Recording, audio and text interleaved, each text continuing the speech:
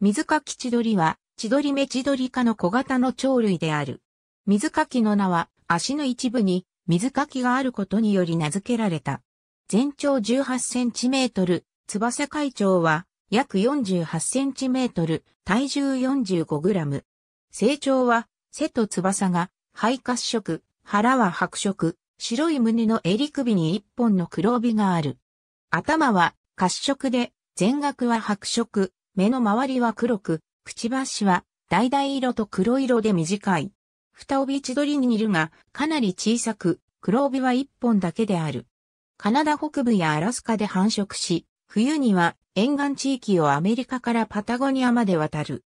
西ヨーロッパでは非常に稀な名鳥であるが、以前は亜種と考えられていたユーラシア産のよく似たハジロコチドリとの識別が困難なことから、本来の分布状態が明らかになっていないとも考えられる。翼が折れたようなディスプレイ通常、海岸、干潟や延べで餌を探し回り、虫、甲殻類、全虫を食べる。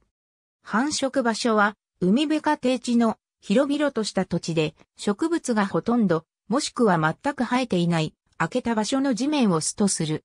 巣が地面にあることから、自らおとりとなって侵入者を巣から引き離すために、翼が折れたように振る舞う、偽証行動を取る習性を持つ。ありがとうございます。